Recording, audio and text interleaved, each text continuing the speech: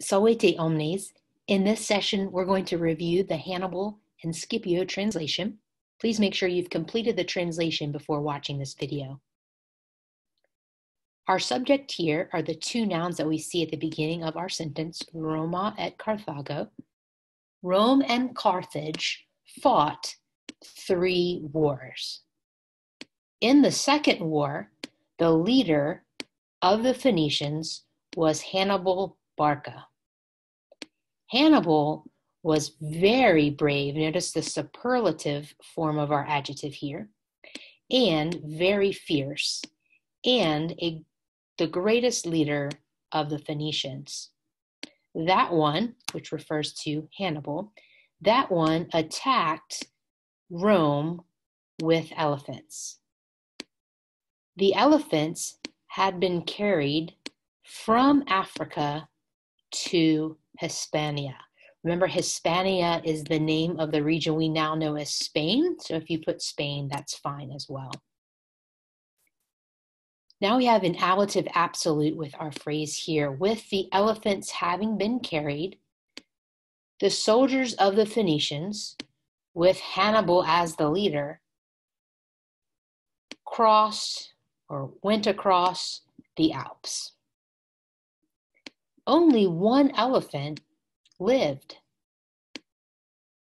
The attacking Phoenicians surrounded Rome. Notice here our participle, it's a present active participle with that nt as a clue to the present active participle. And then another ablative absolute. With the elephant having been seen by the Romans, the Romans greatly feared the Phoenicians and the elephant. As you can imagine, elephants were not a common sight in Italy, so this was something rather startling to them to see this elephant coming towards their city.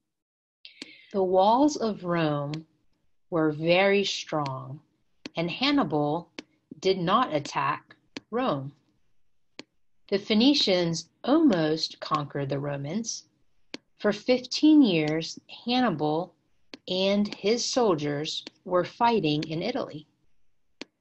The Phoenicians attacked many towns. Remember, this word for town is neuter, and the neuter accusative plural ends in A. And they conquered Capua. At last, Publius Cornelius Scipio, a very brave and skilled Roman leader, rose up or you could say emerged, is he led the Roman army to Africa, and Hannibal was called back from Italy to Africa.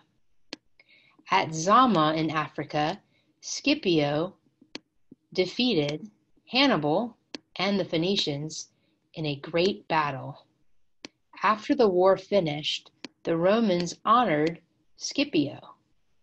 The cognomen Africanus was given to Scipio by the Romans. So, this translation today not only tells us a little bit about what happened during some of the Punic Wars, but also explains to us how Scipio got the nickname Africanus. Please make sure you've made all the corrections to your translation, and if you have any further questions, please let me know. Thanks for watching.